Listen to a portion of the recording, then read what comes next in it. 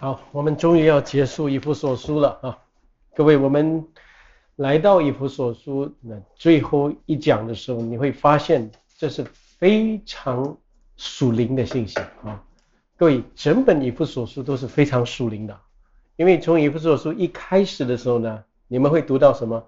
神在基督里面将天上各样属灵的部分赐给我们，然后现在读到第六章后面。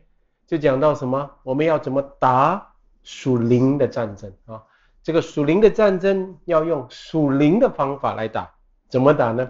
就是穿戴神所赐给我们的全副军装。各位，我先这么说哈。当我们讲这个属灵这个字啊，我就发现很多人误解。各位，属灵呢不是神秘哦，各位。呃，很多信徒一讲到属灵的时候呢，他们就是对这个有有神神秘秘的理解，好像人要进到神神秘秘的光景，好像魂游向外啦，啊，要讲方言啦，或者要有特别神奇的那种感悟啦，等等。各位，这些不是圣经所讲的属灵。特别我们看以弗所书的时候，当保罗讲到你们要圣灵充满的时候呢？他的大前提不是讲到刚刚我讲的这些经历，他讲的是你们不要做糊涂人，要明白主的旨意如何，然后不要醉酒，对不对？呃，那不要进到那种有失去你的理性的那种光景，你那要被圣灵充满，有吗？所以呢，各位，我现在要说，就是当我们讲属灵的时候，我也顺便跟各位讲啊，属灵的意思呢。啊，是跟神的话有关系的啊，各位很重要，跟神的话有关系，因为神的话本是属灵的，阿门。我们主要是说，我所对你们说的话就是灵，就是生命，所以神的话是有属灵层面的，因为他把一个我们看不见的属灵事实告诉我们，所以我们要打属灵的战争的话。我们的心思里面要有神的话，我们要从神的话能够判断，哎，现在人的话、人的情况、环境，这个带给我要怎么攻击我？哦，要知道神在这个当中做什么，隐藏的的美意是什么？各位，这是属灵的看见。所以，亲爱的弟兄姐妹哈，我们打属灵的战争，不是单单靠小聪明或者血气。来对应人对应情况，你要靠神的话，没有神的话，你不知道神的话讲什么，你没有办法在这个情况应用神的话，那你不能叫属灵的，你还是属肉的啊。所以各位一定要先清楚知道属灵是跟神的话有关。然后另外，当我们讲到属灵这个字的时候呢，这是与人的心灵的。深处有关系的事情啊啊，人的心灵的深处啊，我们被造的时候是有灵的活人，能够与神交通的，对不对？所以各位，人的心灵的深处，对你心灵的深处，你受到有一些攻击的时候呢，我们会有受伤，会有惧怕，会有担忧，会有受控告的心，对不对？那那个时候呢，你不要放任他，你放任的话不好。那个时候你要抓住神的话，特别神的话里面有神的应许，按着他的应许进到心灵的深处，怎样向神祷告，呼求神，依靠神啊，在那个时候叫神他的能力，他的安慰，呃，能够充满你，能够帮助你，扶持你。各位属灵的人。所以属灵的人是知道什么时候要安静依靠主呼求主。属灵的人呢，不只是那种哦，我要忙着做什么啊，服侍什么啊，啊，好像要找人啊，讲什么啊，处理什么事情。属灵的人是知道什么时候呢？哦，我要进到心灵的深处，安静下来面对主。那所以呢，在穿戴全副军装之后呢，等一下你会看到保罗说什么？你们要靠着圣灵，随时多方祷告祈求，对，所以这句话很告诉我们说，你的心灵要能够依靠主，成为刚强壮胆的人，那你才有平安。我们基督徒呢，不能一直带着忧愁啊，担心、惧怕、内疚、受控告，然后带着这种心啊，然后呢，你就来来教会要服侍主，一直要服侍啊，你久了你就抑郁了。所以教会里面有抑郁症的人很多，对不对？其实他们没有属灵啊，他们没有按着神的话来，在最重要的时刻常常依靠主、呼求主、仰望主。呃，所以呢，他们的整个的服饰是，就是其实在忧愁里面做，然后呢又受到更多的攻击、更多的控告，对不对？不对。所以各位想想看，如果保罗现在在写监狱书信啊。如果他在心里充满担忧，哎呀，我只是被砍头啊，解释什么？然后现在呀还要写书信，要安慰弟兄姐妹，哎呀怎么办？哇，这种压力啊，能能能够叫他平安吗？不可能平安，对不对？呃，不可能叫他的心怀念被保守的。所以，我我们明白哈，我们的问题很多时候啊，不是你没有讲方言的问题啊，不是你没有做异梦的问题啊，是你不属灵啊，没有抓住神的话。进到心灵的深处，仰望依靠主的问题来的。所以，我们特别我们冰城基督生命堂也是从牧师去年、今年在各位当中，有些人是看到哇，牧师来的时候真的是打属灵的战争。你在这个地方偶像的势力这么强大的时候呢，我们要建立这个教会，教会要合一，要前进。其实很多仇敌的工作，很多仇敌的暗示，借着人、借着情况、借着人的话来的东西。有时候我们很属灵的人呢。我们知道，我们等候主，那继续传讲神的道，继续祷告，然后看到神开路，神拆毁，神建造，神做重要的一些更新的工作。各位，这是属灵人才能打的战争来的哈。那保罗现在在监狱里面啊，在写这个以弗所书，到最后讲到我们要成为属灵人，我们要怎样成成为属灵人？我们一起看啊，各位，以弗所书。六章哈，我们呃终于读到最后了。六章，我们一起来看第十节啊，这第一句话就很重要了哈。第一句话说，一起来，我还有末了的话，你们要靠着主，依赖他的大能大力，做刚强的人。所以这个末了的话啊，呃，各位就是说很重要的，不能不讲的，因为这个跟我们整个信仰生活的。得胜有余有关系的哦，所以这末了的话呢，这里说什么？你们要依赖主的大能大力，做刚强的人。各位基督徒在面对各种的患难跟试炼的时候呢，不是只有哎呀软弱啦、自怜啦，然后很自责、埋怨人、埋怨环境。各位很多基督徒的样子是这样的，基督不是这样的。基督徒要懂得怎么靠着主。依赖主的大能大力做刚强的人，没有错。我们是人，我们会软弱的，我们有限，啊，但是主有大能大力，所以我们要掌握的是什么？第十节要讲讲的是什么？我们要掌握的是怎么依赖他的大能的，依赖主，他是有大能的，他是全能的，所以我要懂得依赖他。我在我的难处中、受伤中、无助中、惧怕中，要懂得依赖他。这个是我们整个的成为属灵人的那个那个属灵功夫啊，就在这个地方啊，各位。所以现在我们继续看哦，所以呢，现在要怎么依赖主呢？哦，下面讲到什么属灵的仇敌，特别第十一节到十二节呢，讲到属灵仇敌啊，你们一定要知道。呃，现在在攻击你们的是什么？对，十一节要穿戴神所赐的全副军装，就能抵挡魔鬼的诡计。各位，哪一个话抓到你？诡计，嗯，各位，它是有诡计的 schemes。各位读到诡计这个意思，你你就明白了哈。它是非常狡猾的，它是会暗示人的。呃，他是会抓住你的弱点，所以他是知道你的弱点的地方。各位明白吗？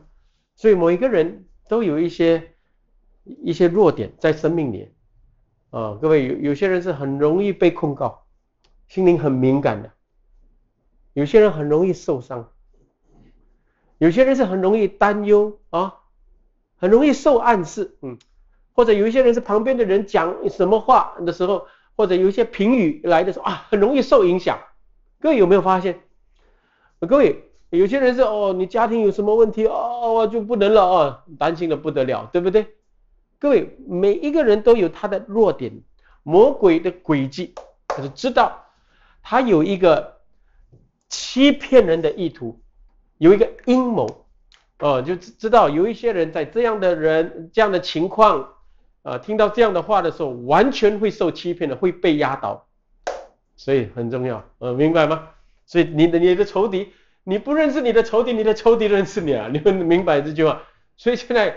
你要打属灵的战争，你要认识他，不要奇奇怪怪认识他哦，好像两个脚哦，在我我做给你做噩梦啊，有人来追杀你哦，魔鬼魔鬼哦，不是这样的，各位，其实在实况当中啊，做工的这邪灵的工作，十二节说，因我们并不是与属血气的征战，乃是与那些执政的、掌权的。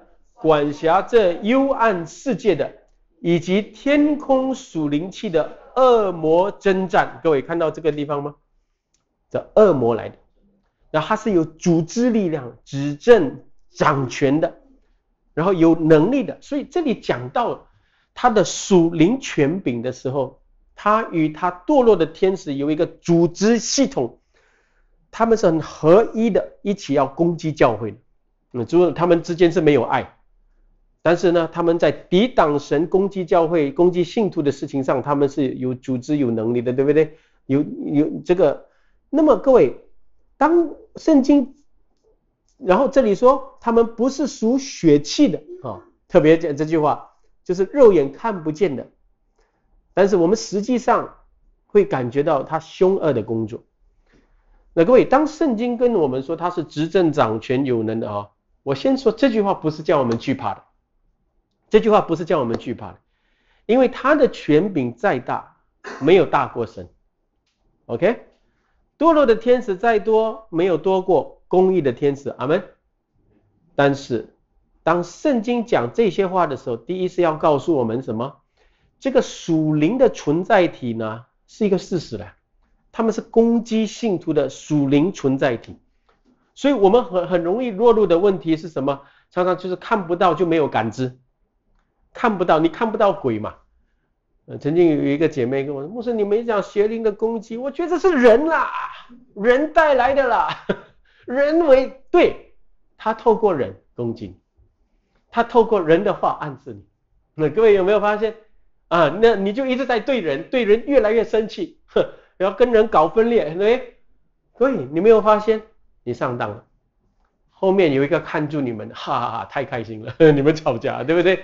所以呢，你们会知道，不要眼睛看不到就觉得没有，所以我们一定是在看得到的人和环境、听得到的人的言语里面，我们要察觉有他的工作。OK，这是一点。然后另外一点呢，就是这个属灵的存在体呢，抵挡神的存在体，他们是有组织能力的，所以我们不能用人的方法。靠人的意志来要跟他搏斗，你一定要用属灵的方法。阿门。属灵的方法是什么？就是下面要讲什么？穿戴神所赐的全副军装了。所以下面十三节到第十七节都是讲到全副军装的内容。所以我们一起来读好吗？啊，十三节到十七节啊，一二三。所以要拿起神所赐的全副军装。好在磨难的日子抵挡仇敌，并且成就了一切，还能站立的主，所以要站稳了，用真理当作带子束腰，用公义当作护心镜遮胸，又用平安的福音当作预备走路的鞋穿在脚上。此外，又拿着信德当作盾牌。可以灭尽那二者一切的火箭，并戴上救恩的头盔，拿着圣灵的宝剑，就是神的道。各位很重要哦，各位莫难的日子，啊，各位莫难的日子来到，要抵挡仇敌。当然，这个时代是已经是堕落了，都是莫难的日子，对不对？但是有时候呢，他的攻击比较强烈的时候呢，各位更是要懂得抓住神的道，进到心灵的深处来抵挡他。所以现在穿戴神所赐的全副军装，那在这个几样呢？全副军装几样啊？算一下，六样了哈。我给各位答案了。各位，这个六样呢，呃，我先跟各位说，两方面，各位写下来。第一，你有没有发现，在这个全副军装的时候呢，它是以真理开始，用真理束腰，然后最后到什么？神的道就是圣灵的宝剑，所以你们有没有发现都是神的话？其实整个六样都是要都是在神神的话、神的启示的话里面给你的一个答案，给你的一个信念，你要抓住的。所以各位亲爱的弟兄们，所以我一开始说属灵的东西是应跟神的话有关系的。对，所以你你有时候很想祷告，但是祷告不到不了。你祷告的那种心境，祷告的那种感觉不来，因为你没有神的话。到底神的旨意是什么？我只有乱，呃对不对？哦，好像求神拜佛一样。哎呀，帮我，帮我，就这样。神的话讲什么？你不懂。所以各位，你一定明白说，全副军装呢，是真的很清楚的告诉你啊，这是神的全备的话啊，那不能用自己的意志和能耐跟魔鬼战斗。一定要穿戴全副军装，然后全副军装的另外第二呢，你会发现它是全备的，所以全服全服啊，所以呢，从防备对不对？有一些是防备，有一些是攻击，各位有没有发现？好像盾牌防备，公益护心经防备，圣灵的宝剑攻击，对不对？啊，平安的福音的鞋啊，要跑对不对？要前进，各位。但是呢，很重点是什么？这个六样呢，一个不能少。我刚才说什么？魔鬼会知道你的什么？嗯，特别你的弱点啊，弱点啊，这个很重要的。每一个人，你容易软弱，容易犯罪，容易跌倒，容易受暗示的人，弱点。所以人都是这样的，有弱点的，对不对？朱牧师也有。所以呢，神给我们的答案是什么？要穿戴全副军军装，啊，哎呀，救恩的头盔不用了，拿掉，就是被射到了，对不对？啊，然后呢，圣灵宝剑不用，啊，对不对？我有信心，你只有挡，一直挡，没有攻击的，对不对？啊，你不懂怎么用神的话来回应魔鬼，你看你们有没有发现？所以，我我们的信仰都是有一种欠缺，所以才会导致我们跌倒。常常都会这样欠缺，所以现在的人读经也是没事啊，断章取义读啊，就跟你讲恩典，没有跟你讲苦难，没有跟你讲有一些罪要远离。你看这种欠缺福音，我们每次说就是穿全副军装穿一半呐，那那种光景啊，所以呢要做刚强壮胆的人，要穿戴神所赐的全副军装。每一个都有意思啊，所以呢，我们大家一起来思考一下，好不好？第一是什么？真理的腰带啊，用真理束腰，对不对？所以 the belt of truth，真理的腰带。各位，真理的腰带，这个全副军装，这保罗一定是看的那个罗马兵丁嘛，哈，他们这个那时候罗马。兵丁，罗马军队是最强盛的军队来的，所以他们怎么穿全副军装啊？这个军装呢，其实很重的啊，呃，但是你要整个穿起来，一定要到你的膝盖这上面啊，所以你才能活动，灵活的跑嘛。然后剑可以放在旁边，对不对？然后要用一个很大的袋子要束腰，明明白吗？呃，这是呃罗马呃。兵丁他们穿全副军装的这个样子，那么所以圣经说这是一个真理的腰带。所以，所以我们要穿的不是那个腰带，对不对？我们要穿上真理。所以真理，所以神的话是真理。为什么神的先用真理来讲？因为魔鬼其中一个诡计是什么？他的谎言太厉害了。他的这个谎言呢，是半真半假。他用他的谎言，就是使始祖犯罪，有没有？你们吃的日子啊，不一定死啊，可能可以跟神一样知道善恶，对不对？然后但是没有告诉他们，你们违背神的结果是这样，就半真半假。他要试探耶稣的时候呢，在旷野，你若是神的儿子，对，你是对不对？你若是神的儿子，好像是对的，对不对？就叫这个石头变成面包啊，或者你就怎样？啊，你就跳下来啊！那他用你的，他用他的天使护卫。我们主耶稣马上用什么？也用真用什么？也要用神的话，用神的话所讲的真理来对应的。有没有发现？啊，不可试探你的神，对不对？所以各位有没有发现，这个这个半真半假的东西啊，就是现在教会为什么这么软弱的光景？很多的传道人受到他的影响，讲半真半假的福音，欠缺的福音，了解吗？所以呢，信徒当然了，他就听福音听一半的那种，听神的话听局部性的，就听自己喜欢听，哪里会刚强？不可能刚强。所以呢，亲爱的弟兄姐妹，所以我们很清楚要知道啊，真理束腰第一啊，你听，呃，真假分不出啊。人的话，神的话分不出真假分，你不要想会刚强。OK，第二什么？来，公益什么的护心镜啊？各位，公益的护心镜在哪里呢？啊，对，所以在这个胸部，其实很大片的了哈，而且很扎实、很刚硬的一个。为什么这边要遮啊？你你的主要器官在这边啊，你的心脏、你的肺啊、你的肚子啊，这这些，这个仇敌刀刺下去就就完蛋了啊，对不对？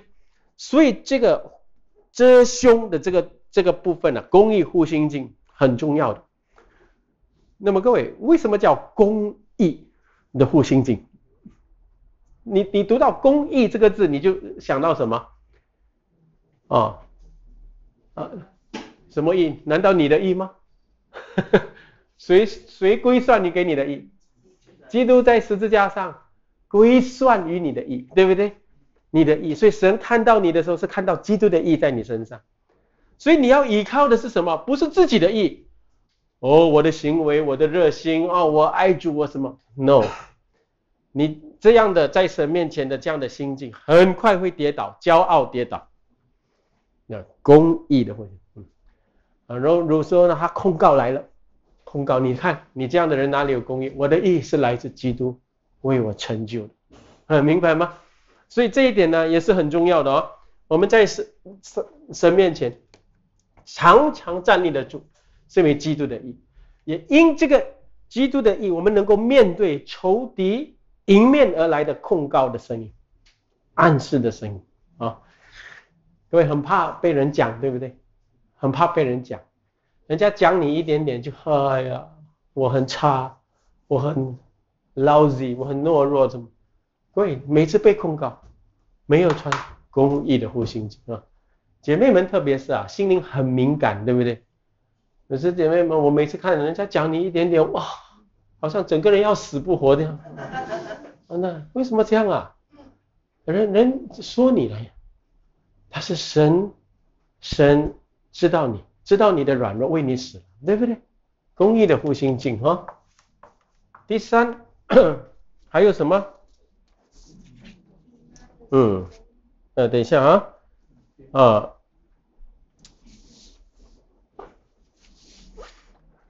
这里说什么？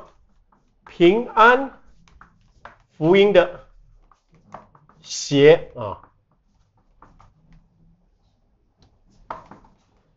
平安福音的鞋，各位，平安福音的鞋呢？各位，马上听到什么？罗马书十章十五节，那报福音传喜信的人，他的脚中何等佳美！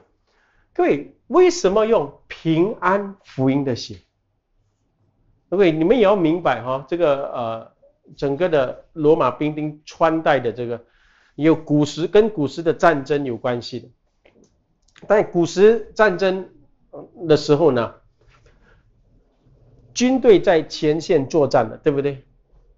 然后百姓在城邑里面等候消息，然后打战打战，那个战事如何？到底我我方的军队是赢还是输？这个很关键，因为这个城邑里面的百姓就等着这个消息来。如果我们输了，完蛋了，我跟我的家庭成为奴隶了，对不对？啊，我们赢的话，这是大好的消息，有吗？所以呢，当时候没有电话，没有通信嘛，还没有发明这个，所以通常他们会派一个跑腿的，通常叫做通信兵，在前线的时候派，告诉城里的人，我们我们赢了，或者我们输了，对不对？那所以这个通信兵呢，就跑回去城里，从战场跑回去的时候呢，那么这个百姓呢就。如果听到坏消息，哇，他们忧愁忧虑到，甚至把那个通信的打死都有的，有时候 对忧愁到这个地步。所以呢，这个通信的人呢，和压力很大的，战战兢兢，对不对？那如果是好消息，哇，后来他们就知道好消息，他跑过来的是飞跑的脚步，哇，冲过来，对不对？但是如果是坏消息，你就从远远看到。他带着很沉重的脚步，一步一步走回来，哦，所以呢，这这个的意思，你你明白吗？所以诚意的人是多么需要知道这个消息，也多么需要知道好消息，阿门。所以这个告诉我们什么？所以你要传好消息，传平安的福音，叫神与人和好的福音，对不对？各位，仇敌呢，怕的是谁？你整天在教会只有讲闲话，然后呢，重伤人讲谣言，哎，一讲福音不会讲啊，一点福音的信息都没有。仇敌不怕，仇敌是很喜欢这种人，但是仇敌呢，害怕的人是常常一开口就能够传和平的福音，好消息的福音，叫神与人和好，也人与神和好，也叫人与人和好的。那个福音，阿门，有没有？所以呢，因为记得哈，所所以征战的这个部分很重要的，仇敌怕什么？什么东西威胁到仇敌啊？能够胜过他的诡计的是什么？对，这几样东西，你记得哈，很有意思哈。保罗讲这个属灵的意思都在里面。第四，什么？信德的盾牌哈，呃，各位，信德的盾牌呢？呃，各位，我们问，在罗马军队作战的时候呢，他们很厉害的一样东西就是他们会围困，围困一个城邑。所以呢，他们要围困城邑的时候，他们就是一个一个军队军团，他们走向那个城墙的时候呢，那城墙上面敌军一定是会射射箭，对不对？一定射箭。当时候嘛，很多弓手。然后甚至有时候不但是射箭呐，把那个箭头放火，然后射下去，所以你要烧死他们，射穿射射死他们，也烧死他们，不然就烧死他们。所以这个罗马军队啊，他们是很厉害的，他们有这个盾牌，然后他们的盾牌呢不是圆的，是长形的啊。你们看电影你们会知道嘛？哈，那罗马军队打战的时候呢，长形的，所以一个团队。军团要往那个城墙去的时候呢，呃，那前面那排呢，他们是盾牌是直的，然后后面是什么样？盾牌放上面，所以呢，整个包起来，对不对？呃，然后要射箭的时候射不到，呃，射箭的时候射不到嘛。还有什么？他们呢，因为知道有火箭，所以他们拿那个。压呃动物的皮革放在正在水，然后呢放在他们的盾牌，粘在盾牌上面，所以什么火箭来就灭掉了，火箭来有水嘛，呃，各位厉害不厉害？罗马兵丁啊，多多么厉害啊！所以现在各位，你问一个很重要的话了：你们的信仰有没有信德的盾牌啊？现在你们问到底什么意思？哦，我们怎么能够一个成为一个基督精兵啊？有没有信德的盾牌？各位，我们的信仰是讲到信的时候，跟什么有关系？因信成义，对不对啊？我们知道，接着信还有什么？你成义完之后，你因信什么得胜了，对不对？仇敌的火箭来，各位，火箭呐，火是会烧伤人，箭是刺伤人的。有时候我们在信仰生活或者教会服饰啊，或者这些呃跟人的关系的时候，你们有没有发现，很多信徒呢，他们的心灵被烧伤、刺伤。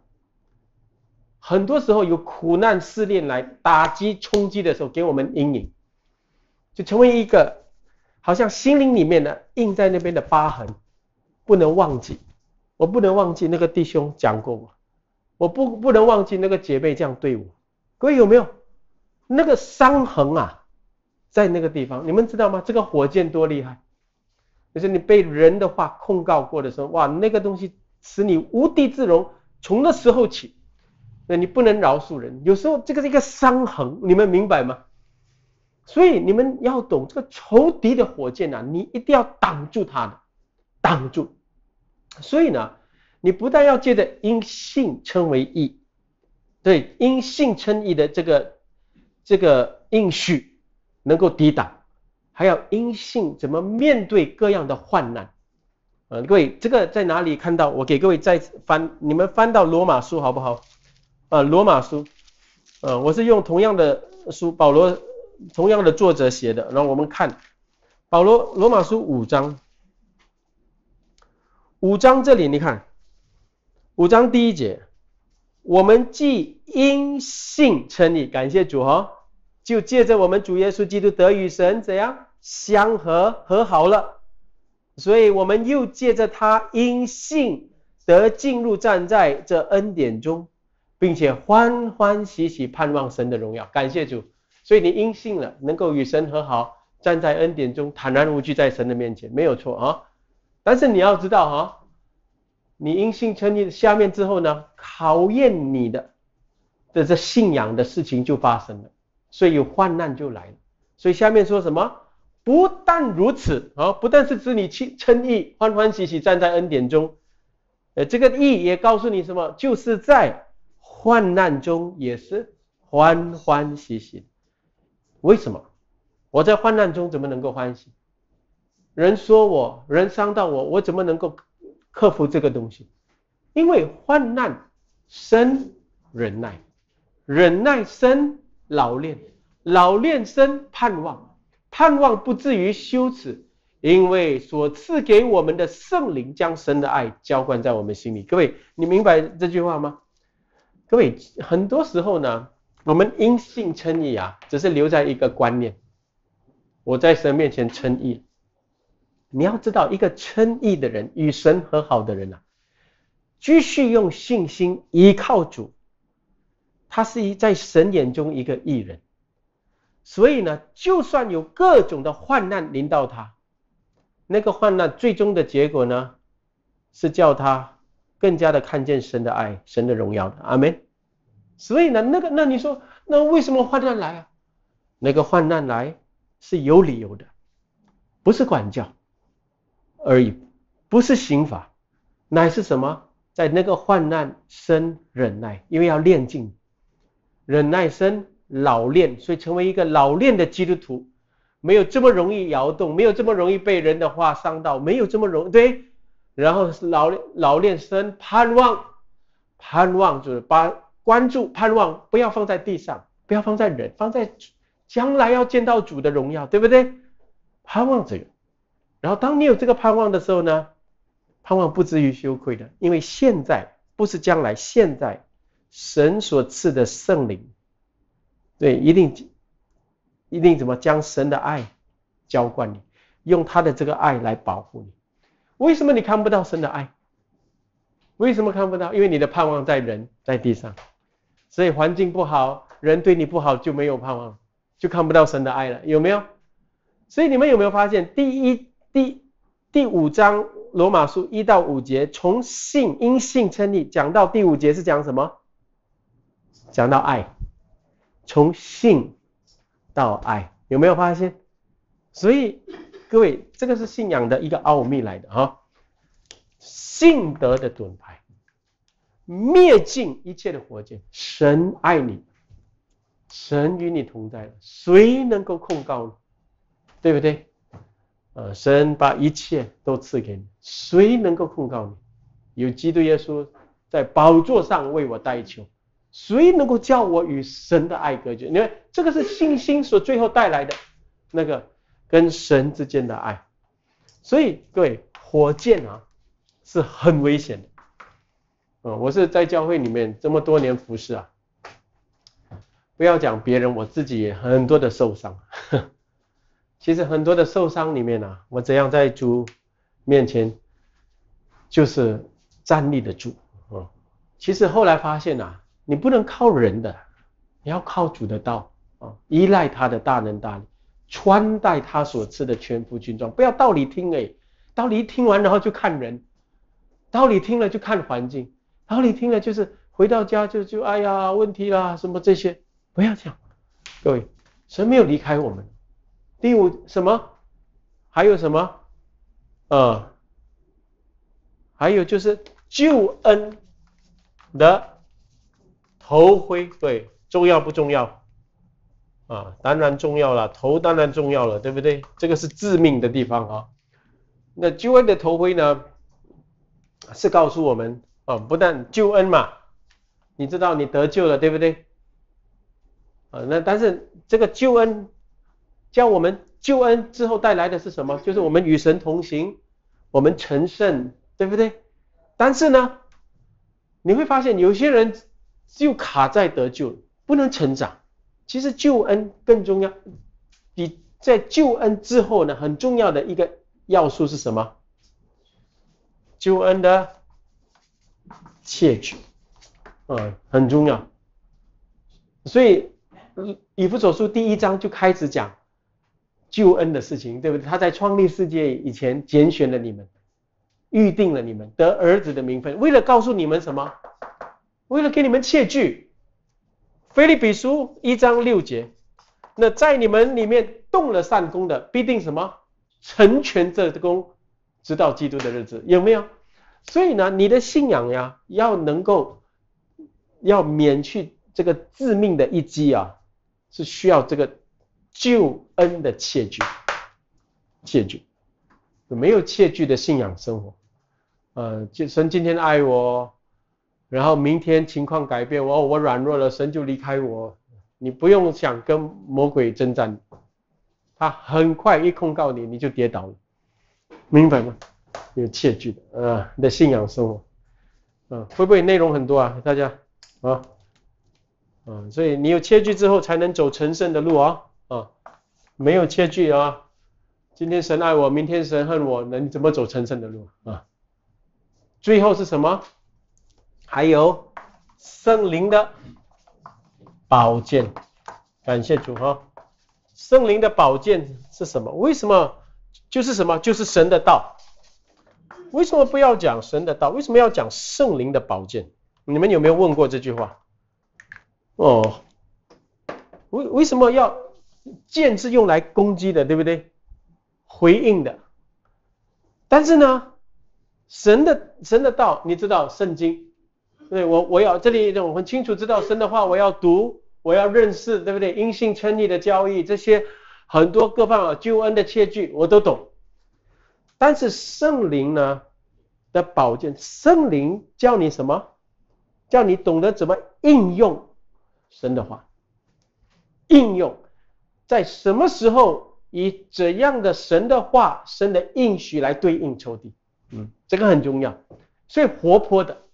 神的话是活泼有功效的，圣灵在你心里面叫你想起神对你讲的一切话，对不对？呃，在适当的时候用这样的话安慰你、劝解你、啊坚强你，对圣灵的宝剑。所以呃，如果一个人就是只有死死板板的这样啊读神学，读教义，嘿，他不懂得什么叫圣灵的宝剑，你就发现他很死板。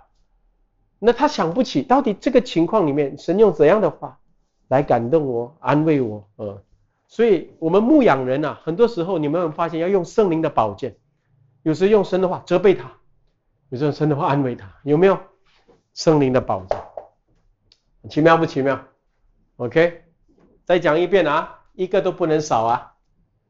啊，福音不是选择的，一个都不能少。我们讲什么？全备嘛，全副军装哈。OK，差不多讲完了。然后现在感谢主啊，我们讲到最后了。现在我们快快要结束了哈，还没有结束，各位，因为在这个里面还有一句什么十八节读，怎样？正靠着圣灵，随时多方祷告祈求，并要在此警醒不倦。为众圣徒祈求，各位随时多方祷告。各位这句话再一次讲啊，不是讲方言哈。啊，各位随时当然无时无刻，嗯，对不对？然后呢，无时无刻里面当然有时候也需要安静的时候，呃，无时无刻有一种谨慎的心，无时无刻，但是呢。多方随时多方祷告，这个是我再讲一遍哦，这个是要进到心灵的深处，随时对随时多方祷告，不是讲方言，你讲方言，你你根本这个跟神的话跟圣灵是脱节的，因为这里有一句话说，靠这圣灵。那这里讲圣灵，那你学习神的话了，然后现在呢，忽然间啊，关掉你的悟性，然后就讲方言，不对，也不是那种就用嘴巴很形式的祷告，肤浅的祷告，不是。你明白了神的道，然后现在有仇敌，你时常面对仇敌给你的新的压力、暗示、控告、担忧。你的心心灵里面要常常进到心灵的深处里面啊，很恳切的、迫切的祷告。那保罗很多时候恳切的祷告，各位有没有发现啊？他心甚迫切。呃，使徒行传你们看到众使徒们他们恳切的祷告，所以这个是靠着圣灵随时多方祷告，还有祈求很多的祈求。因为有需要，也为众圣徒、为教会祈求，所以进到这样的有根有基、有神的道的靠圣灵祷告啊啊，就是不是只有把祷告当做一种形式，所以神的话跟祷告是结合在一起的，结合在一起的。学了神的话，你的心灵呼求，你的心灵，你的心灵一直的祷告依靠。就常常这样的信仰生活，就是你发现，呃，仇敌怎样的攻击来，一下子就消散，一下子就消散啊，不会在那边收住一个月、两个月、一年、两年，啊，就带来的自己心灵心灵也受折腾，然后呢，你的问题不结束，你一定是把从你的口，就是带给你旁边的人，旁边的人一起跟你受控告，一起担忧这些啊，亲爱的弟兄姐妹，所以呢。呃，现在我们十九节说，然后为我祈求，使我靠着口才得着口才，能以放胆开口讲明福音的奥秘。所以口才和胆量啊，是传福音者很需要的。保罗在受困的时候，其实他没有退缩，他一直在监狱里面做见证。各位还记得他跟亚基巴王做见证吗？呃，亚基巴王《使徒行传》二十六章的时候，跟他做见证，亚基巴王说。你以为这样劝一下我就能做基督徒吗？保罗说，或多劝或少劝，我只有盼望祷告一件事啊，就是不管是你和在座的人都能够像我一样成为基督徒，啊，只是不要像我这样有这个捆锁，但是我都盼望你们能够得着这福音的好处啊，对不对？所以保罗很有胆量，也很有智慧的，常常有口才有胆量传讲神的话。所以叫一切听他的哇，都被他吸引。二十节，然后我为这福音的奥秘做了带锁链的使者 （ambassador），对不对？呃，他是福音的使者，并使使我照着当尽的本分放胆讲论。那除了我们主耶稣基督以外，保罗是整个历史最伟大的福音使者哦。他得时不得时传道，向各种的人能够传，在各种的场合能够传传扬福音。你认识福音多少，你传扬福音多少的。有时在教会这么久呢，各位会发现。你们你有没有问自己，我是不是一个得时不得时传福音的人，还是我是常常说闲话的人啊？呃，各位，有时候我跟你说，不认识福音的人呐，他们讲的话带来的意念呢，是跟福音相反的，不是带来和睦，带来分裂。呃，所以呢，我们一定知道，保罗现在他他的。他所认识的传讲的福音是多么的尊贵的啊，多么的重要，所以叫大家为他祷告。二十一节、二十二节，经有说：“亲爱忠心侍奉主的弟兄，推及推及鼓是吗？嗯，他要把我的事情，并我的情况如何全告诉你们，叫你们知道，我特意打发他到你们那里去。”好叫你们知道我们的光景，又叫他安慰你们的心。哎呀，这句话太美了。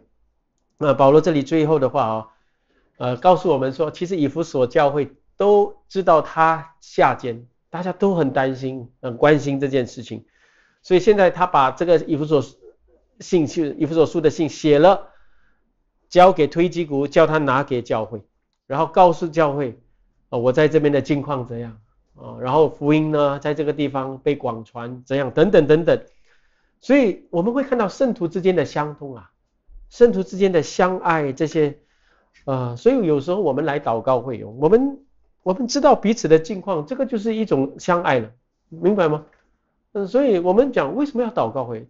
那祷告会来不是只有祷告，你要知道弟兄姐妹的需要情况，然后一起祷告，那这个里面就圣灵的工作。嗯，所以感谢主，二十三节一起来，愿平安、仁爱、信心从父神和主耶稣基督归于弟兄们，并愿所有诚心爱我们主耶稣基督的人都蒙恩惠。各位，平安、仁爱、信心，这都是神赐给圣徒的恩惠啊！在那里啊，我们特别会看见啊，在哪里会看见这些仁爱、信心？平安，有神的话被传讲，有神的话被传讲的时候，圣徒相通的时候，我会看得到。所以你们问我们教会的整个的属灵环境是这样吗？仁爱、信心、平安。然后呢，这里特别说，并愿所有诚心爱我们主耶稣基督的人都蒙恩惠。诚心爱，这个是 undying love，不是一种浪漫的爱。啊，不是那种因环境一改变就没有了，嗯，就改变的爱，不是，undying 不变的，我们的爱是在主里面，我们圣徒相通，我们彼此包容，彼此带导，这个爱，各位亲爱的弟兄姐妹，就是帮助我们哈，我们呃，因为主把这样美好的一个书信给我们，这么属灵的书信，但是也是充满信心、充满爱心的书信给我们了。让我们在主面前学习这一点哈，好，我们一起祷告。主，我们感谢你今天用这本书，呃，以弗所书的结束结尾来教我们成为一个属灵的信徒。主，我们为着我们哦每个生命堂来祷告。主，每个生命堂都是处在一个啊属灵战争的一个环境里。我们知道内忧外患。各种的问题要攻击圣徒，但是感谢主赐下你的应许，也让我们知道这个全副军装的奥秘，叫我们能不能够生命得保守，心被保守，然后不但呃能够成就，能能够站立得住，也能够为主成就一切。求主帮助我们众人，呃，教会呃，是在这个地上是一个明灯照亮，就在黑暗的世界当中，因为有教会，所以这个世界才有希望。所以求主保守每一间教会，保守每一间生命堂，愿我们都在我们的岗位、我们的地区、我们的领域里面为主打那美好的仗。